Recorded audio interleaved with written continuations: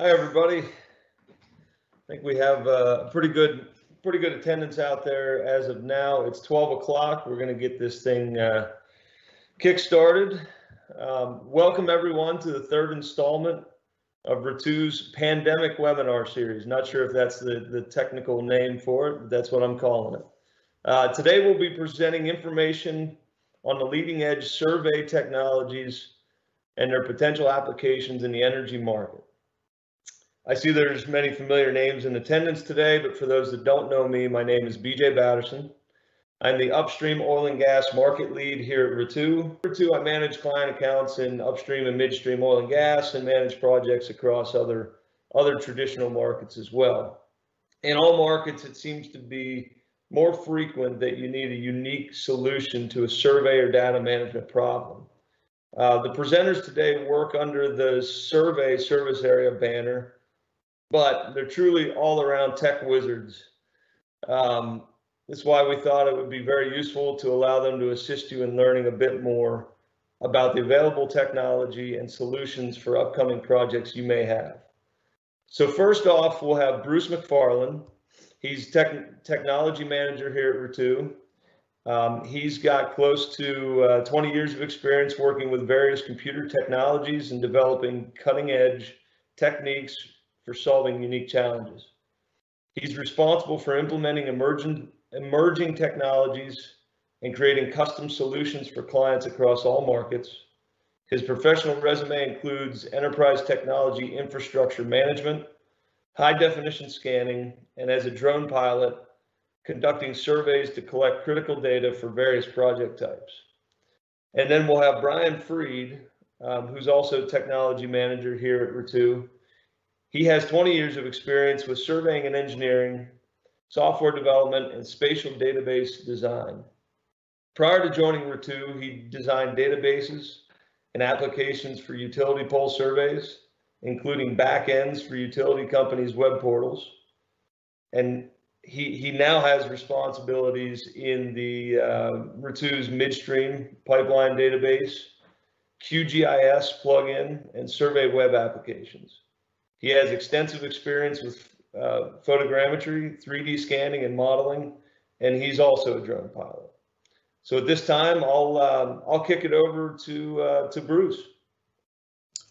Thanks, BJ. Uh, good afternoon. I'm very excited to be here with you all to uh, talk about survey technologies and give you a foundational understanding of some of the ways they can be used to help the energy market projects in data capture and management. So today we'll be discussing a few key technologies and techniques to capture key data, as well as approaches to managing that information to aid in efficient project goal completion. Some of the technologies we'll be going over are visual data, thermal data, GPS surveying, and geospatial point cloud data. While visual data looks like the low-hanging fruit, it's extremely valuable in all aspects of a project. Something we've learned over the past two months is that minimizing site visits will be a priority moving forward, as well as the convenience of the technology that facilitates it. Visual data is a multidimensional resource that can be used in many ways to provide realistic perspectives of a project site. 360 degree panoramic photos provide a unique view of a project site. Being able to have a, a, perspective that is easily manipulated to monitor points of interest without being physically in front of them is quick, efficient, and easily accessed remotely. Terrestrial 360 degree panos can be taken with consumer grade specialized, specialized cameras in which it will internally stitch together two or more photos from multiple lenses. Aerial panoramics, however, can be taken via drone by a licensed pilot and will essentially hover at a specific point and take a series of photos that overlap a full 360 degrees within its line of sight to be either internally processed or through specialized software.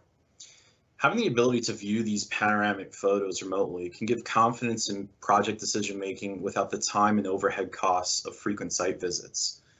So while static photo and video capture is among the most traditional, current technology, however, allows us to capture the same data much more efficiently and in a much safer fashion. While anyone can feasibly use a digital camera to zoom in on a point of interest, using drones, we're able to control unsafe and inefficient situations, such as needing eyes on for a point of interest that isn't easily accessible and might be at a, different, a difficult angle. So let's take a look at some examples of visual documentation. Static photos are helpful. They really are. You know, they're they're probably the most common form of, of visual documentation used for the last 50 years. But as we progress with technology, we can see so much more in a much more organized manner. Taking an industrial facility as a case study here, with possible renovations, expansions, or repair scenarios in mind, it's quite helpful and efficient to be able to create a virtual tour with the intention of clicking on these areas of interest within the site and having full 360 degree views. Let's say there's some detail on the conditions of a valve or a pipe at a specific area of the facility. Having the ability to go to that particular spot view, and viewing the object makes decision making much more efficient and accurate. So let's build a quick scenario where this might be useful. In this photo, you can see the top of a centrifuge that, we that we hypothetically need to take out of this facility in order to rehab it. In order to do that, we'll need to find collision points along the way that might hinder getting it to the nearest exit point. Because we have the ability to, to have these immersive points of view, being able to make initial assessments on the valve, conduit, and piping connections that are in this path allows us to build a team of essential personnel to address these obstacles and plan accordingly, as well as having reliable visual data that's often able to be accessed via web-based formats like you see here without the need for frequent site visits and coordination. So as you can see here, we're able to take a look at, everything that's in the way of, of our particular path that we might be taking here. Having a full range of, of, of view here to, to look at possible connections, um, things that might not come up in static photos or video.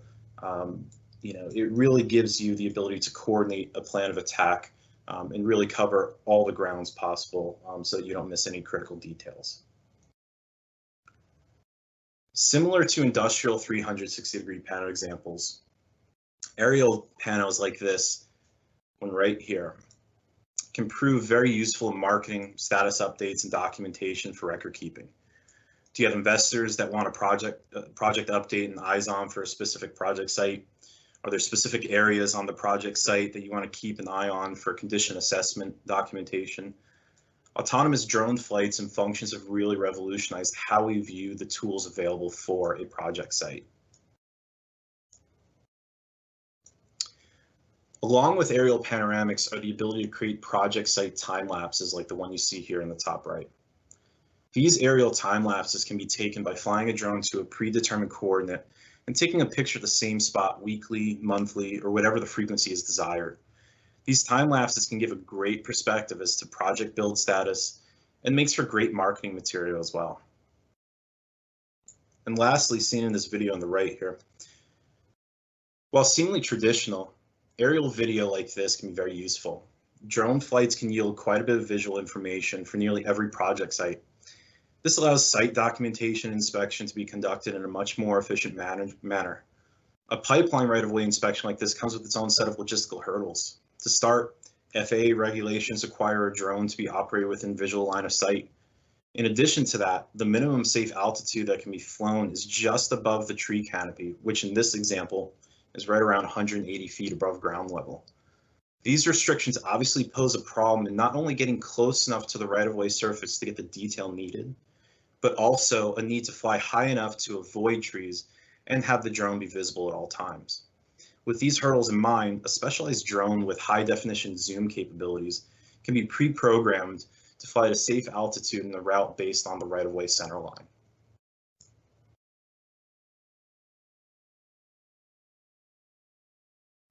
Now, thermal imaging, often called FLIR imaging, is truly the next evolution in visual data collection.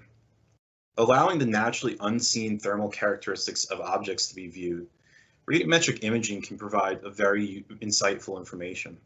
So what is FLIR thermal imaging?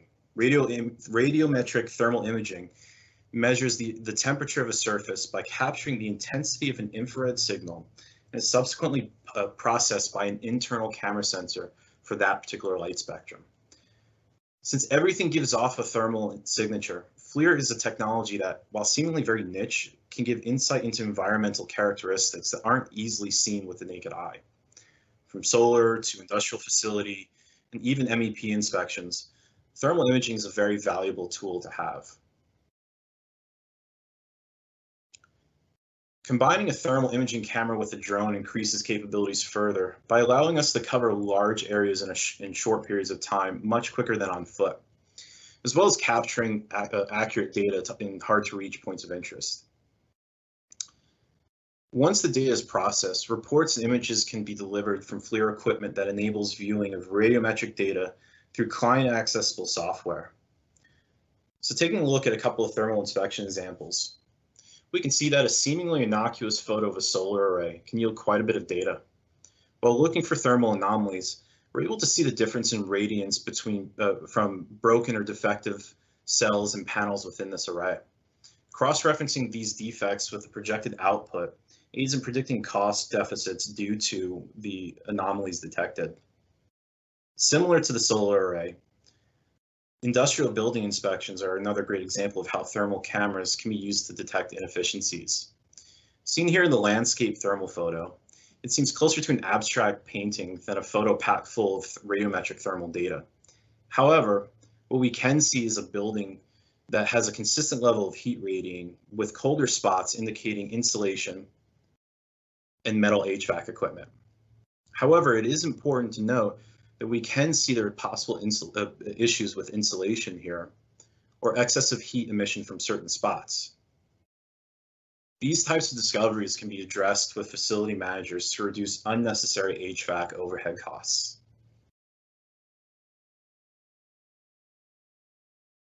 Oops. So GPS surveying, while this seems a bit out of context among advanced technologies, GPS surveying is, is an, an efficient and important part of uh, data collection. Using GPS systems, conventional surveying provides a tried and true solution when key data is needed in situations that might not be optimal for drones or scanning. GPS surveying yields highly accurate spatial data taken to aid in plotting out key points of interest on the ground. This data can also be, can be taken with RTK or real-time kinematic GPS units, or in some cases triangulated using other survey equipment. So as we move forward into the realm of point clouds, I'd like to quickly go over the burning question of what is a point cloud. A point cloud is a data set that represents objects or space. These points maintain an X, Y, and Z coordinate in relation to each other. Large amounts of these data points are considered a cloud. So the two main ways to capture the, the data needed for a point cloud are through 3D LiDAR scanning and photogrammetry. The data that can be used for record keeping, conceptual design, um, precise management, uh, uh, excuse me, precise measurements and spatial reference, terrain assessment, and volumetric monitoring. Drones collect data through georeference aerial photography, which reduces the time spent during collection. The level of detail attained through the images combined with processing software enables the ability to map and inventory uh, additional details on a project. Point clouds generated via drones use a technique called photogrammetry. Photogrammetry is the triangulation of data by taking points from at least two different lines of sight. The different lines of sight of a common object can develop three-dimensional coordinates that are mathematically calculated based off of that information. The resulting data set can be developed into a point cloud with accurate spatial data of the environment. The easiest way to demonstrate the concepts of photogrammetry by using equipment that every one of us have, your eyes. So imagine each eye is a separate camera. Individually, each eye can detect a relative distance to an object. So let's do a really quick experiment. Find an object in front of you, a pen or the corner of your laptop or monitor, close one eye, and try to touch that object with your finger. It may not be terribly difficult, but more often than not, you're slower to touch that than if you have both eyes open. So now open both eyes and try to touch the same object. You should notice that it's much easier and it took much less concentration. This is the result of your brain triangulating the location of that object by using stereo imaging from both your eyes. This is also commonly referred to as depth perception.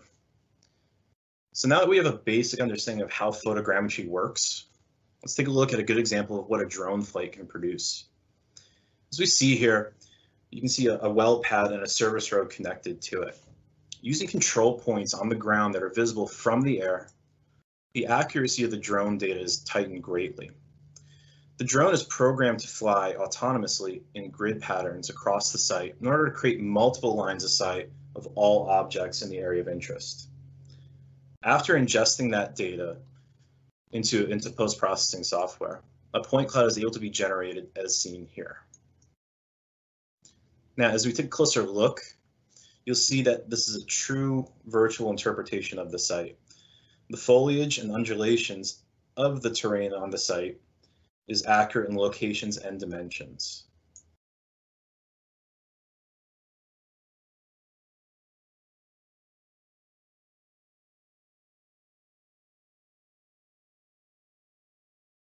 I jumped the gun.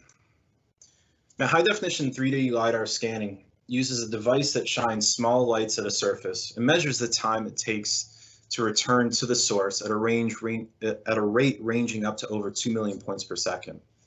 These devices take a fraction of the time of conventional surveying relative to the size and conditions of the project and collects exhaustive information on the entire site or structure, eliminating the need for multiple site visits to compile more data. Using laser scanning allows for the creation of 3D of precise 3D models and increases the accuracy of as-built documentation. Not only are drawings more detailed and exact, but the entirety of scan of the scan data is retained, enabling the ability to complete future drawings as needed without returning to the location. Let's look at a few examples to help you visualize what can be produced from scanning. So in our, our video here, you can see a 3D model of a compressor station. This 3D model was generated based on a scanned point cloud. What's special about this particular model is that while the above ground features were captured via scanner, the below ground features were captured by subsurface utility locating equipment. Since above and below ground data was captured on the same coordinate system, a full 3D model was, able to, was able to be created from that data. This is a really great example of, of not only using multiple technologies to accomplish project goals, but from a planning perspective, the project data was predetermined to have specific points of interest desired. Despite the different logistical angles, the data was deemed necessary to be included in the deliverable. This allowed a specific plan of attack for above ground scanning, below ground utility location, and the control network that would be associated with in order to act as a connecting point for both of them. Through this approach, the client now has a very accurate model of the site, including dimensions of all above and below ground structures and utilities, as well as terrain contours for any future projects.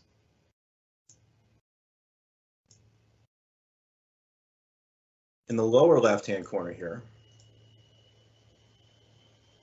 you can see a really good view of a 3D model fly-through, which is on the left, and the point cloud data was built from, which is on the right.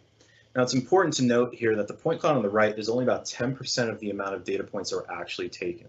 So what you see is about 100 million points out of about a, a billion data points total, um, collected by, by a tripod mounted scanner over, over the course of 17 positions. What's important about this model is that you see on the left that it doesn't have nearly as much modeled as what's seemingly in the point cloud itself. This is because point cloud should be viewed as a, as a bank of information that can be mined for what is needed, which could be much less than what's present. So as we go through this, you saw just a second ago, you could probably make out some stairs and a platform, but that is not modeled in, in this particular model on the left side. Now, right here's a really good example of how modeling is based around what's needed and not necessarily what's exactly in the point cloud. In the point cloud on the right, you'll see quite a bit of information a lot of piping that you, you may be able to make out here, a lot of uh, miscellaneous, ob miscellaneous objects or structures um, to the right. It really gives you an idea for the fact that what's modeled here was particularly important for this project. So now going back to what we talked about earlier in those 360 panels with building out a, a collision path for centrifuge to be um, taken to an exit point over here.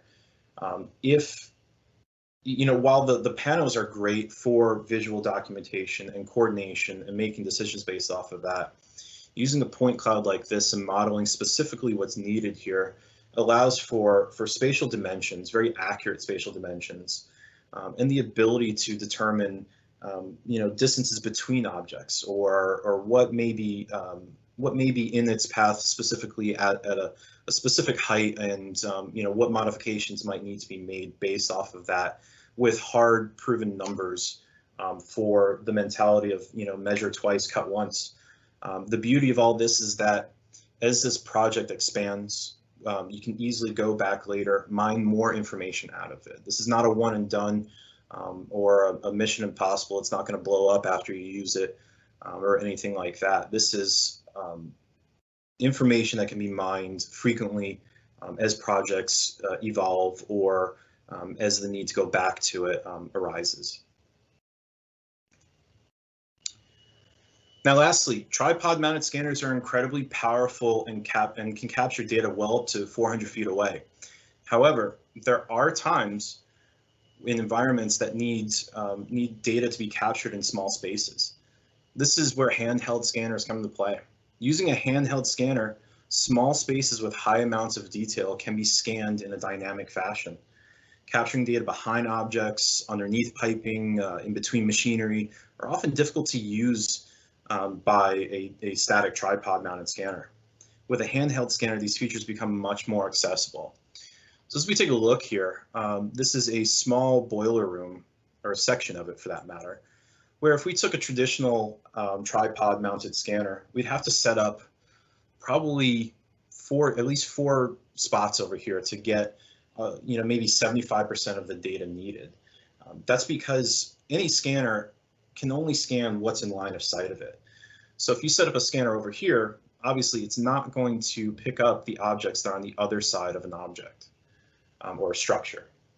So um, using a hand scanner, we're able to go through and dynamically basically walk through the site with the scanner.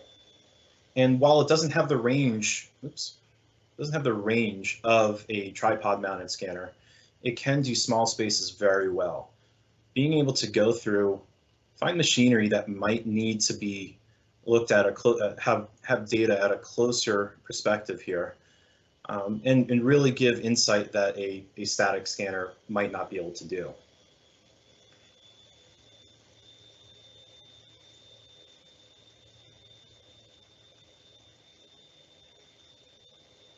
Now, oftentimes a project calls for out-of-the-box thinking in order to capture the data necessary.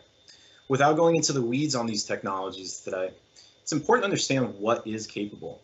Specialty vehicles are able to navigate unusual situations to capture key metrics, visual reference, and even 3D point clouds.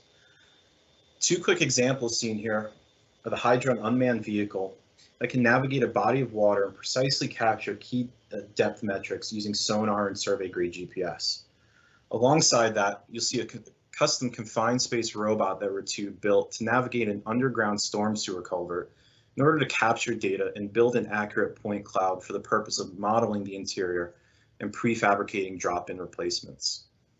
These situations are somewhat unusual, but the underlying theme here is when looking at a project, data can be captured in these one-off environments that pose safety and logistical hurdles. So what's the what what capture method is best for the job? What is most efficient? What will yield the data needed without being excessive? When we look at a project, we typically determine the project goals and what needs to be achieved to get there. When data is needed to accomplish these goals, it's important to take a step back and understand how much data is necessary. For example, if you have an equipment room with 30 valves in a small space, the data per square foot that is necessary to capture or to be captured lends itself to scanning. On the other end of the spectrum, a pipeline where you have one piece of data every 50 feet lends itself to GPS surveying. So choosing the appropriate technology can greatly affect the efficiency in project of project design and the usefulness of as-built data. As-built plans can be developed from a scanned point cloud. However, having a 360 degree panoramic photos of the site can not only give an extra layer of data through high resolution imagery, but also gives the ability to share site details with colleagues without the need for transferring large amounts of spatial data they'll be relying on powerful computers to process. Similarly, needing a pipeline right-of-way visual inspection may lend itself to, to only needing high definition video for condition assessments.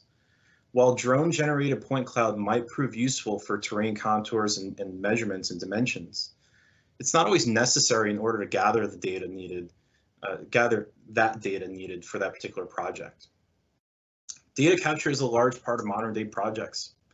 Using advanced technology starts with assessing short and long-term goals for your data. Just as important is what you do with that data and how you manage it. With that being said, I'll turn it over to Brian to discuss the dynamics and key technology in data management. Thanks, Bruce. Everyone manages data. Now, we don't always think of Windows File Explorer as a data management platform, but it absolutely is. And a lot of times it really is the best tool for the job. The point clouds and visual data that Bruce just covered, we still manage a lot of that primarily by folder and file naming. When choosing what to do with all of your information, there's a continuum, right? Ranging from File Explorer, the simple, all the way up to relational databases. The big advantage to File Explorer is super high accessibility. Everyone who's ever used a computer can operate those tools. The downside is a low ceiling of capabilities. Most companies have something like this, a prescriptive manual for how to name things and where to put them.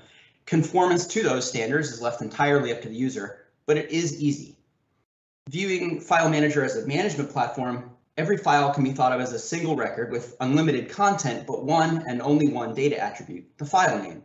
So we tend to cram different things in there, a client name, a project name, an idea of what's in the file, the date that it was generated. Because of that, the ability to search or aggregate data across different files and folders is extremely limited. All the way on the other end are databases.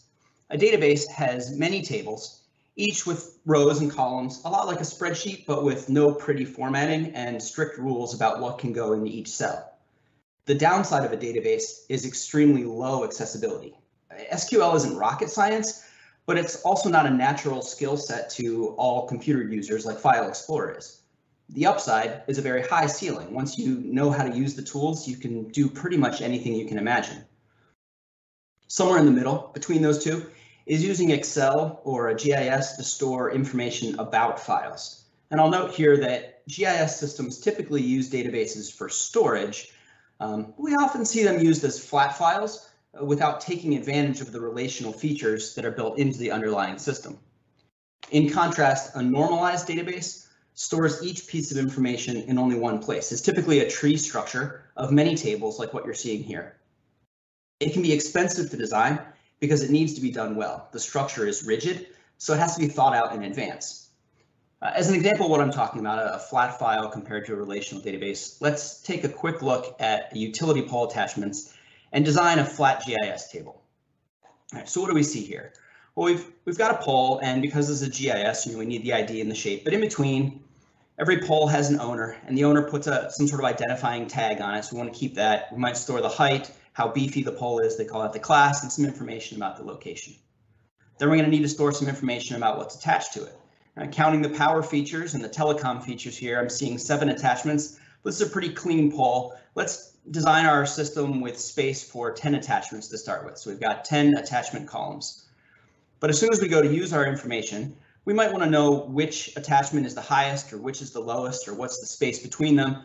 So that means that we're going to need to store the height of each attachment as a separate numerical column so that we can use math formulas. So now we have 20 columns for the attachers.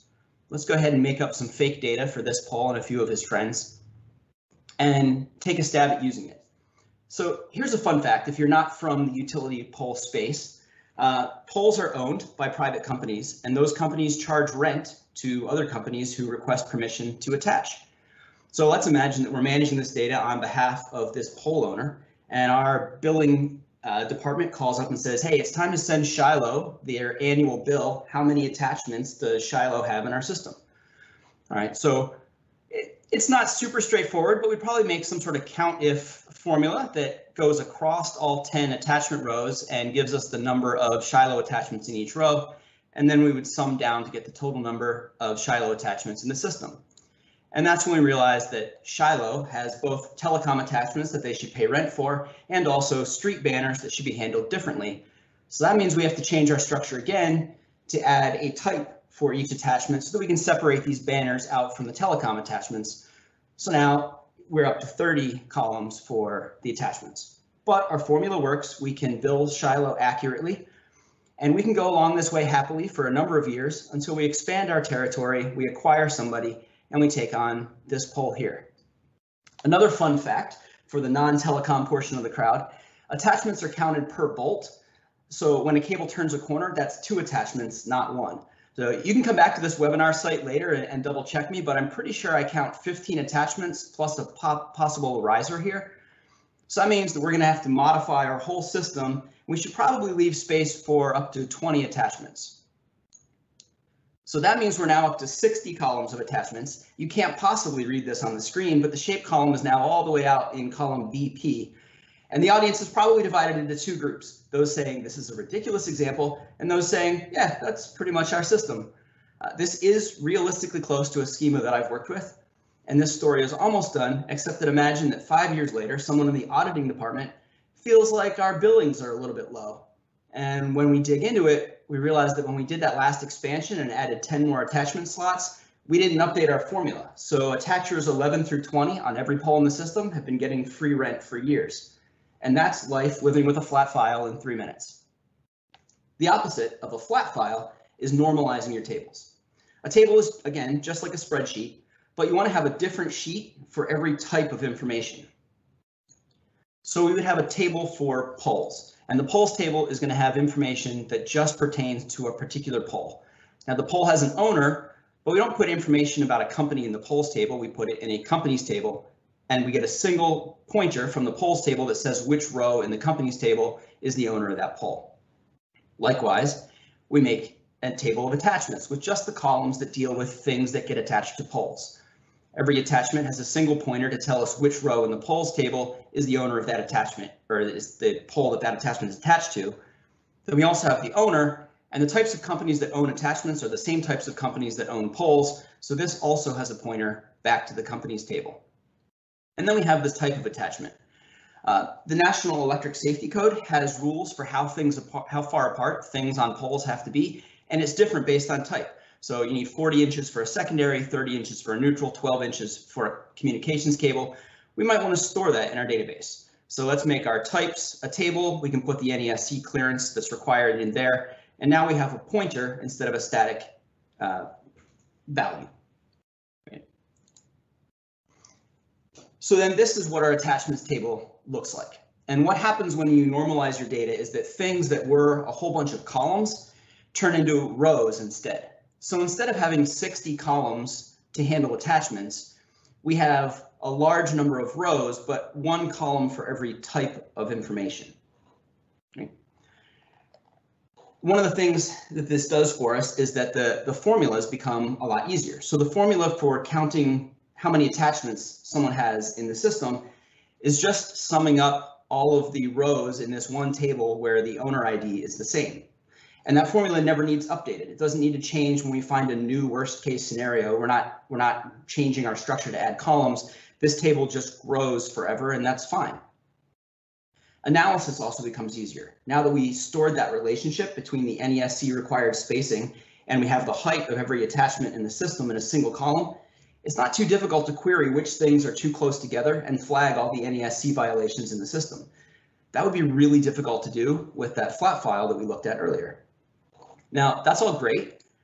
It really is. It's very powerful. But don't miss that working with these tables by hand can be a pain.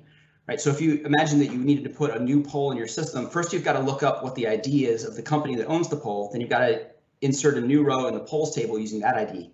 Then for everything that's attached to the pole, you have to look up the owner of the pole, the owner of the attachment, the ID of the type, and do that row after row after row. So you don't want to just dive into making a database. Uh, you really have to choose some sort of user-friendly interface or else everyone's going to quit. So the question is, when should you consider going to all of this considerable effort and expense? I like to look for places that have high volumes of similar information or anywhere that you're doing a similar thing over and over again. That's often a great opportunity. Uh, for us at RETTEW, that's been pipeline as well surveys. So I'm going to show you some of the ways um, that we're leveraging our database on the pipeline space, but I want to be clear first, I'm not pitching our system. I'm not saying that everyone has to do things the way that we're doing it. Uh, I'm saying that you should consider having a system that works for you. These are the internal tools that we created to solve specific problems that we had. So first up, here's what operating a database out of the box looks like. There's not much in the way of buttons. Honestly, it's pretty terrible to look at. Um, in the query editor, it's all about the data. There's no pretty pictures. This is one of our views. Views are queries uh, that you can use to combine information from lots of different tables into something readable, a lot like the flat file that we had a minute ago. A nice thing about the server-based database, though, is that everyone doesn't have to go through this interface. You can have multiple access points with for a variety of different programs, and numerous users can use it simultaneously from different programs. So we use both an open source GIS called QGIS, as well as ArcGIS as user interfaces. And we're going to look at another interface uh, next. Uh, this is our web app. And it's not because I'm saying everyone should build a web app, but this is a format that we can distribute to you. And that's the point internally as well. There's overhead involved in setting up new users with desktop GIS software. A web app is an interface that we can give out to our field surveyors, including subcontractors and temporary hires. Each user only sees what's shared with them. Uh, so after this presentation, you can come back to the site and log in as this demo user and, and poke around a little bit in some fake projects that I set up. I'm only going to touch on a, a couple of things. Uh, first, we're going to talk about the construction progress, and I'm just going to jump straight to the map view.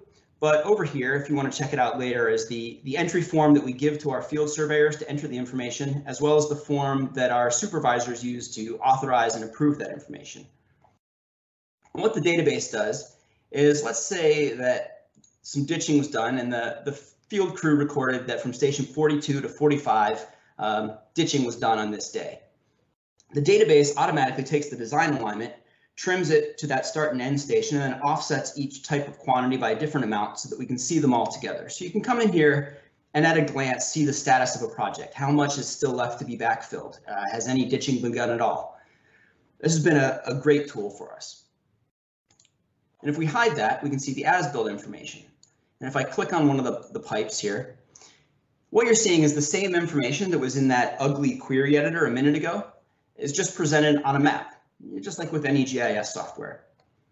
And I want to talk about this MTR link or um, material test report.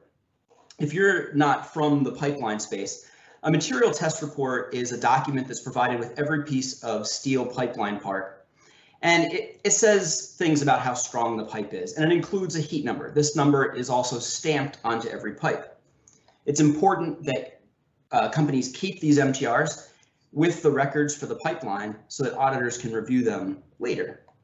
Now, we didn't set out to build a pipeline MTR management system. That's not what we do. Uh, we just need to record the heat number for each part that we survey. The problem we were trying to solve was how do we quality check our own entry? Uh, how can we be sure that when someone types in a number out in the field, that they've got the right number that's actually stamped on the pipe and they're not fat fingering anything? Well, once we had already decided to build a database for our, our data in general, once we already decided the pipe tally was going to go in the database and our locational information was there, we said, well, what happens if we put the MTR information in the database? And I wonder if the, the client would give us all their MTRs and let us put them in there. Um, one of the superpowers of a database is very fast search. So that's what we do now. We enter in all MTRs for a project upfront, and then as we import survey information, the database automatically links pipes to the correct MTR if there's a match, both on heat number and material specs, and it throws an error flag if not. That accomplished our first goal, catching field mistakes before the pipe is buried. What you find happening when you normalize and centralize your data like this is that over time you find new ways to use that information. So what happened next is someone said, hey, uh, I need to know if we already have an MTR for this particular heat number, but I don't know what pipe it goes to. I don't know what to click on. How can I look that up? Well, since it was already in a table, it wasn't too difficult to build a, a search page here. And we were able to do some things to make it look not just for literal matches, but for partial matches like this one, um, or transpositions. And it gives a score of how similar the result is. And from here, you can launch the PDF. So this has been really useful as well. And then later on, um, our MTR error check came up with a client. We were talking about how we, how we, the same thing I just talked to you about, how we link every pipe to a PDF. And they said, well, hang on a second. You're saying you have a PDF of every MTR linked to every pipe. At the end of the project, can you make an index of them, sort of like a phone book for all the MTRs in that project? And so we did. It's not in the web app here, but in our desktop GIS tools, whenever a pipeline is completed, we click a button and the program looks through all the MTR files that are referenced by all of the parts in that project, downloads each individual PDF, combines it all into a single big PDF, and then prepends the whole thing with an index that lists every heat number alphabetically along with what page in the final PDF it's on. It really didn't take very long to throw that together because of how we're using the relational tables. And then I guess one last example of, of an unexpected way that things were used and was useful was that a client caught a manufacturer cheating on an MTR report. Um, after some investigation, they decided that they really did have to go replace all of the elbows with that particular heat number. So you look at the bends here, you can imagine there's a lot of elbows in the system. And there was some concern about how they would find them all. Uh, they didn't even know what projects they had been used on. But since all of the pipes in our projects are in the same table, just like that attachments table in that example earlier, we found them spread across five different projects and were able to send a KML with the location of each one within the hour. And the contractor was able to start digging right away. Uh, also over here is our field file uploader. That's a that's a new initiative. One of our recent issues was a, a newer field crew struggling to remember send all of their field files in. This is our idea to help them out. We could spend a lot more time talking about the advantages that come over time as you use the database well, but I do want to make sure that we leave enough time for questions. So, you know, what's my what's my closing advice? I wish that I could tell you a definitive answer. I wish I could say, go buy the Flooferhoven system and all your problems will be solved. Uh, but there is no such thing. So on the one hand, don't discount the value of simplicity. Let's take point clouds, for example. They're huge. They would have destroyed our file server. So we got a bigger disk on a different system. Uh, gee, thanks, I know, right? RETTEW just said buy a bigger disk. Uh, but, but seriously, we could have made a database to organize our point clouds, but why? They're just raw positions. There are a lot of raw positions, but they're just raw positions. Now, some of the measurements that we extract from a point cloud, you know, once we attach identity to them, once we say this is a particular valve or this is a, a unit and this is its number, then sure, we'll put that into a database. But the clouds themselves, leave them in File Explorer. But don't ignore geodatabases either. I'd encourage you to skip over that middle ground. If you find yourself making a spreadsheet with file names and folder locations, so that you can search or track something better, that's likely an indicator that a database could help you. Once you've decided on that, there are many ways to implement a database-backed approach, ranging from off-the-shelf interfaces to coming up with your own. What I suggest is building your team first. Invest in your people, and then invest some real time talking about all your information and make a plan that works for your team. As an example, 10 years ago, I was on the losing side of a debate. Uh, let's call him Steve. Steve wanted to use Google Earth to collect field data. I wanted to use QGIS. We went with Google Earth, but within a year, we all decided to switch over to QGIS. And I must have said something arrogant because I remember my boss saying, you know, it's not true that you were right and Steve was wrong. If we'd have started with QGIS a year ago, it would have failed. It became the right solution because you made it be the right solution. But in the meantime, we had a year of success with Google Earth. Uh, the new system is undeniably better than the old, but that doesn't mean that the old was a waste, it was a necessary step.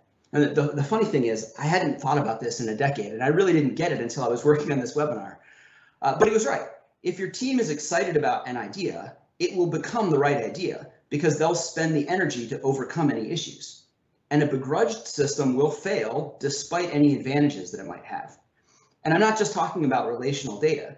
When evaluating scanning or drones, like Bruce talked about, compared to traditional measurements, make sure that you include your data team in the decision, whether that's CAD drafters or your GIS team.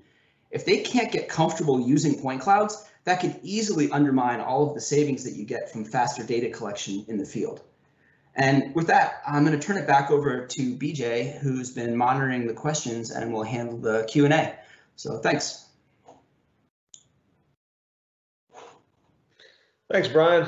So uh, as you can see, we're uh, we're in a different world here. Um, survey is not uh, two guys in a truck um, going out and, and, picking up points uh, manually. Um, New Frontier is here, and these guys uh, hopefully answered a lot of the questions. Now, um, I've been monitoring the questions. I have a couple here that um, I'll um, pitch out to the guys.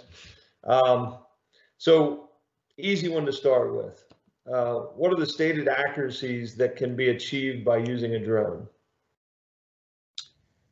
Yeah, so BJ, I'll take that one. Um, so it, the, the easiest answer is, is I guess it, it depends, um, but the official answer is around one to three inches, um, depending on the environment. So this is assuming that we're talking about drone point clouds.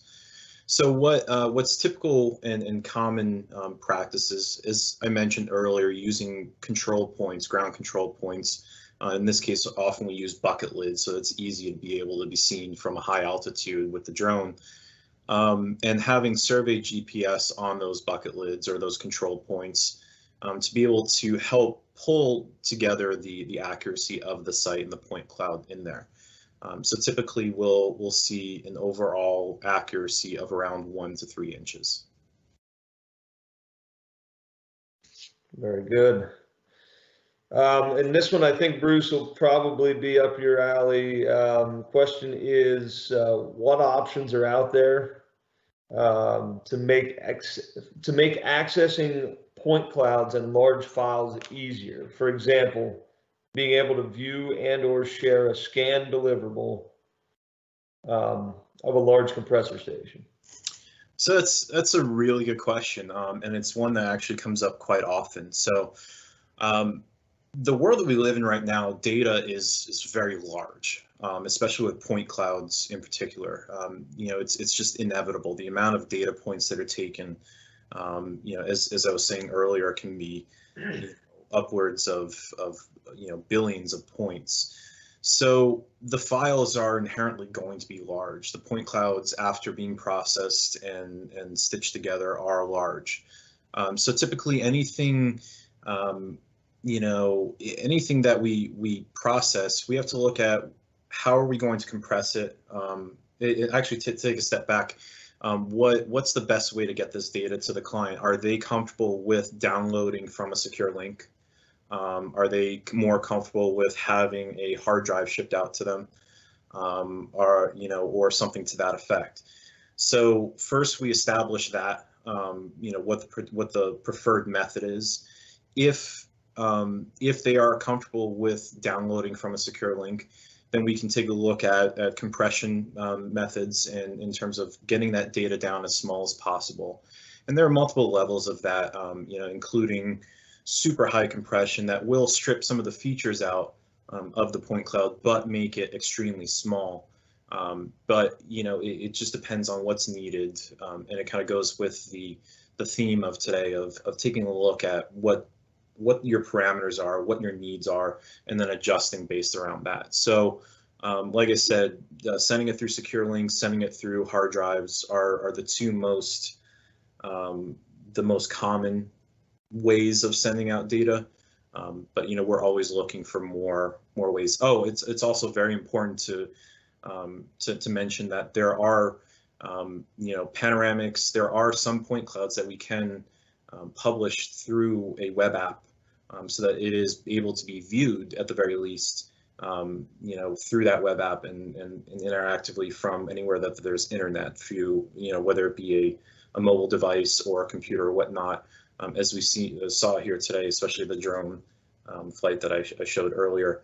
Um, that is, is specifically through a web app where we would host the data or host it somewhere, and then it would be able to be viewed um, by the, the client. Awesome. Yeah, that that uh, that should answer that question. I do have uh, I have a, a, third, and actually I just got another one here.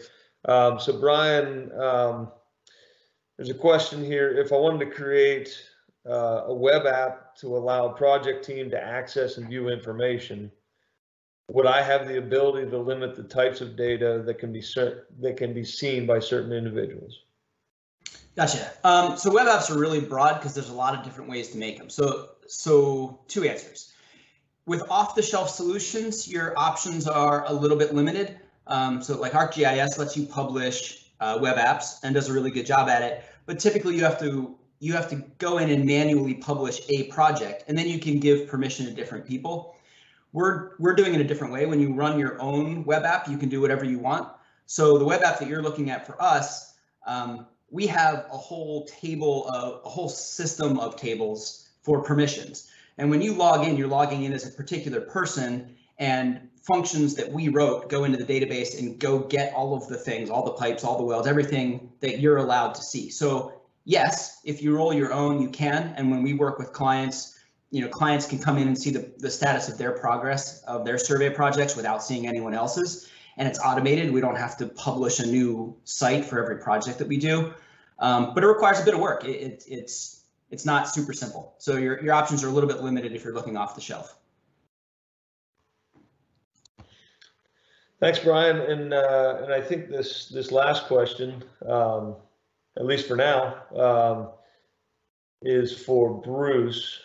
So, do scanning technologies use facial or pattern recognition to improve tie-in of data points and to increase scanning efficiency? I guess it could be either one of you guys.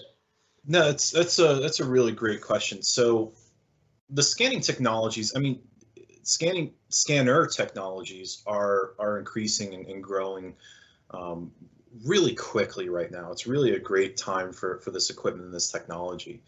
Um, now, I'll, I'll kind of give a two-part answer to this. In terms of scanner technologies, um, there are scanners out there that have technologies in terms of um, monitoring from station to station and setup to setup, uh, monitoring the the pixels in between them and finding um, finding common points as you're literally picking up the scanner to move it to the next site. Um, it will track those common um, points of, of, view and be able to understand where it is in relation to that. So it's pretty pretty cool technology right now. Now, in terms of of pattern recognition to tie in data points together, that kind of explains some of it. But in terms of the post processing software, um, in conjunction with um, you know the act of scanning, there um, we use things like um, like spheres like uh, um, specific to scanning where there the the software will pick those up automatically and have that pattern recognition knowing that those are specific to a certain size or whatnot um, that are industry standards. And it will understand that those are particular control points that you can use um, to spatially stitch together multiple scans. So if we have scan one over here one scan over here, or scan two over here, and we have um, a couple of those orbs sprinkled around where both those scans see those orbs, um, it will be able to recognize um, those as control points and where they are spatially within those scans and use them as common points to tie them together to create a much larger scan world. And I hope that answers your question. All right, thanks, Bruce. Um, I don't see any other questions out there. Um, so at this time, uh, I want to thank you all for attending the, the, the webinar. Again, as a reminder, um, if you need PDH credits and you did not put it in your RSVP, uh, reach out to Victoria Webb or on the screen right now, you've got uh, Bruce and Brian's contact information. I'm sure they would uh, field, uh, field that request as well as any other questions that you have regarding, um, you know, survey technologies, uh, anything that we spoke about today. Uh, I wish you all uh, good health and uh, thanks for attending. Have a great week.